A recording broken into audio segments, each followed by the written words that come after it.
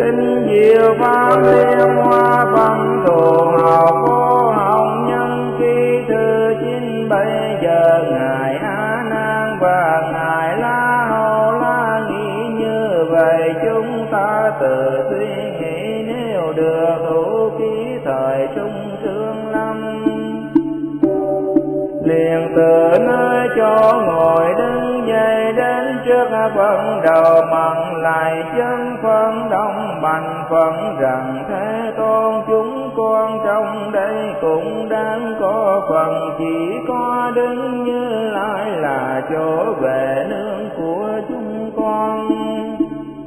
Lại chúng con là người quen biết của tất cả trời. Người a tu la trong đời a nan thường làm vị thì gia hộ trì tán pháp la phật nếu phần tu ký đạo vô thường chính đẳng chính gian cho thời lòng nguyện cầu của con đã mang mà lòng trong của chúng cũng đường đủ lúc đó. Hàng đệ tử thanh văn bần học cùng vô học hai nghìn người đều từ chỗ ngồi đứng dậy trịch vai áo bên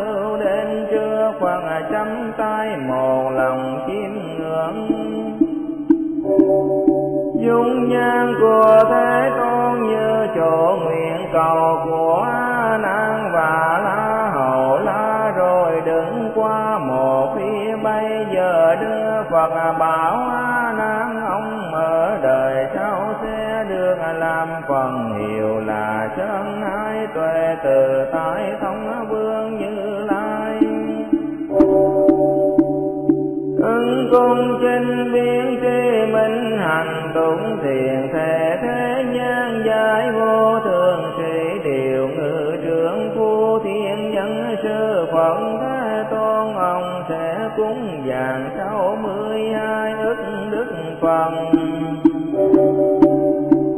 Hồ trì tạng pha vậy sao chân đường, đạo vô thừa chính đàn chính giác giáo hóa hai mươi nghìn muôn ứng hành hà tha cán chúng Bồ Tát vân vân làm cho tánh đạo vô thượng chính đẳng chính gian.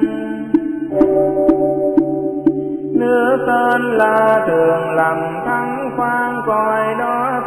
thanh đấng bằng chất lưu ly kiếp tên diệu âm biên mạng đức phật đo thọ mệnh vô lượng nghìn muôn ức vô lượng. A tăng kỳ kiếp tinh đêm số kẻ chẳng có thể biên được chính phạm trụ đời gắn bội pháp gấp mà bội chính pháp a nan đừng phần sơn, hải tuệ tự tại thống vương đó được vô lượng nghìn muôn ức ngàn hà cha can đức phật như lai ở mười phương. Đồng khen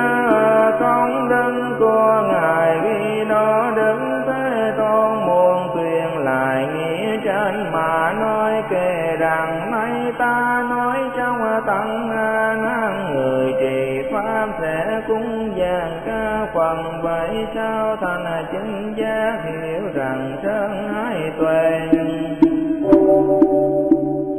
từ tài thống tịnh tên thường lầm thân phan giáo hoa ca bồ tát chỗ đông như hàng xa phần có uy đức lên tiếng đồn khắp mười phương vì bởi thương chúng sinh.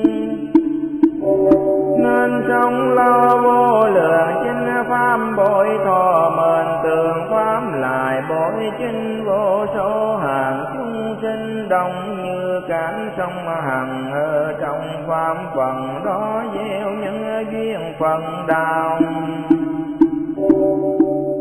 bây giờ trong ngôi hàng bồ tát mới phán tâm tam nghìn người đều nghĩ thế này chúng ta còn chưa nghe các vị bồ tát lớn được thôi.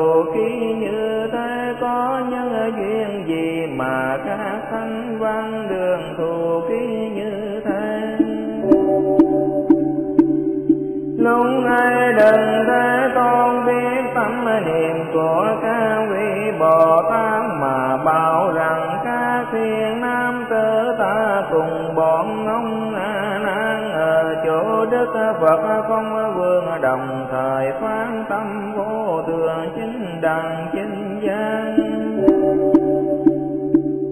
năng thường ưa hồng rộng, còn ta thường siêng năng tinh tấn, cho nên nay ta đã thành vô thường chính đẳng chính giác mà năng hồ hộ trì pháp của ta. Ông cùng sẽ hộ trì pháp tàng của cả đức phật tương lai. Giao hóa thành tựu các chúng bồ tát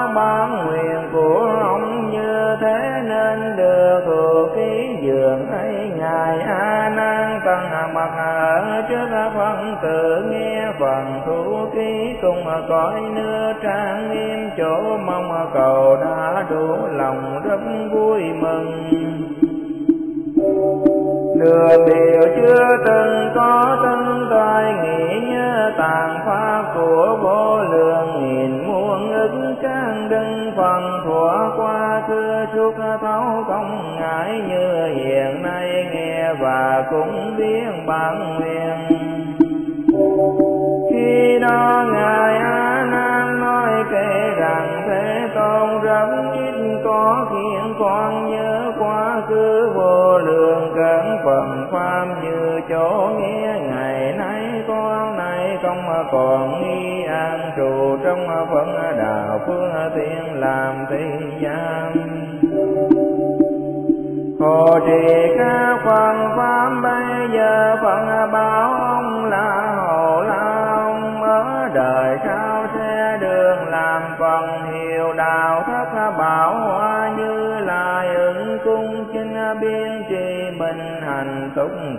thiền thể thế gian dài. Vô thường sĩ điều ngờ trường, vô thiên nhân sư phận thế tôn, ông sẽ cúng vàng can đứng phận như lai, như số vi trần. Trong mười thế giới thường vì can đứng phận mà làm trương tử cũng như hiện nay. Đứng phân đạo thân ba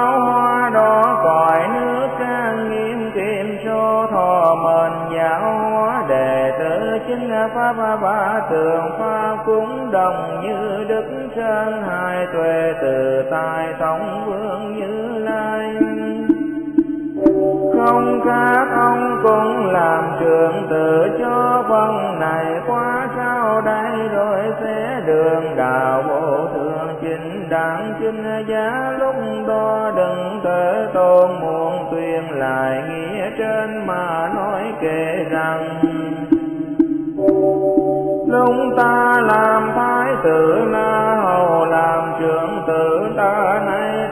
phần đạo thù pháp, làm pháp tử ở trong đời vị lai găm vô lượng ức phần làm trưởng tử cho kia một lòng cầu phần đạo hành kiến của la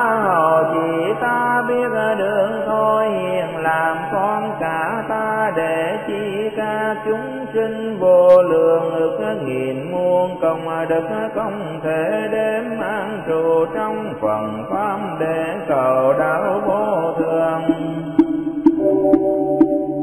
Bây giờ đấng thế tôn thấy bằng hữu học cùng vô học hai nghìn người chi hòa diệu văn lặng trong thành một lòng nhìn phật phần bảo an